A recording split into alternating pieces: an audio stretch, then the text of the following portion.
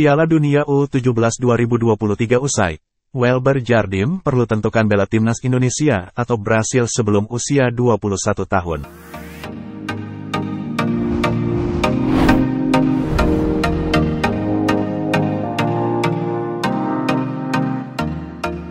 Salah satu pemain timnas U17 Indonesia, Welber Jardim, harus menentukan pilihan lanjut membela timnas Indonesia senior atau Brasil sebelum usia 21 tahun.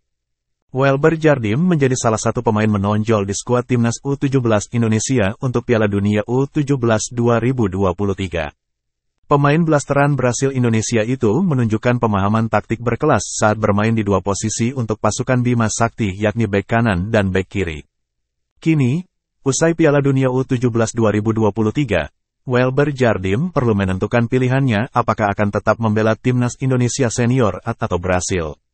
Tenaga ahli Kemenpora RI bidang diaspora dan kepemudaan, Hamdan Hamedan mengatakannya demikian.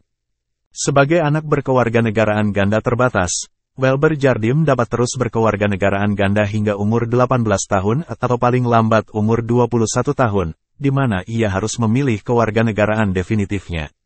Welber memiliki ibu berasal dari Indonesia dan ayah dari Brasil. Welber Jardim itu adalah pemain yang pertama kali saya dapatkan informasi di bulan Maret tahun 2022 tahun lalu, kata Hamdan Hamedan saat ditemui di Hotel Solia Zikna, Solo pada Sabtu, tanggal 2 Desember tahun 2023. Saya dapat informasi bahwa dia berpaspor Indonesia, dapat informasi dari ibunya, lalu saya informasikan ke Direktur Teknik, PSSI, pada Juli tahun 2022. Kemudian pada tanggal 21 Juni tahun 2023 saya berkomunikasi dengan ayah dari Welber sebelum ada kabar resmi kita akan menjadi tuan rumah Piala Dunia U17. Saya tanyakan kepada ayahnya, kalau di kemudian hari ada panggilan dari tim nasional Indonesia, tertarikkah Welber membela timnas? Jawabannya iya. Welber masih bisa membela timnas Brasil senior meski sudah membela timnas U17 Indonesia. Sebelum usia 21 tahun, Welber harus menentukan dia masih tetap membela timnas Indonesia.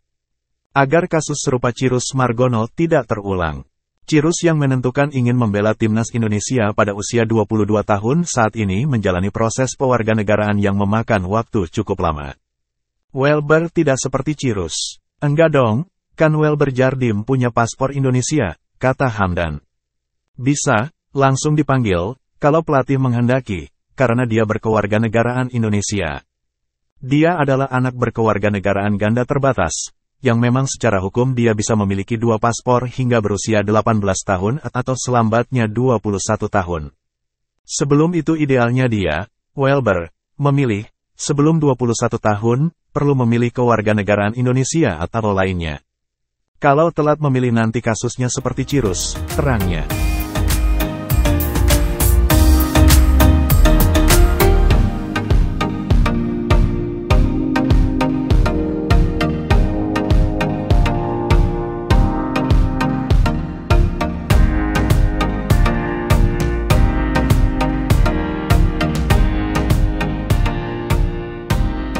Kasih sudah nonton. Jangan lupa like, subscribe, dan share ya.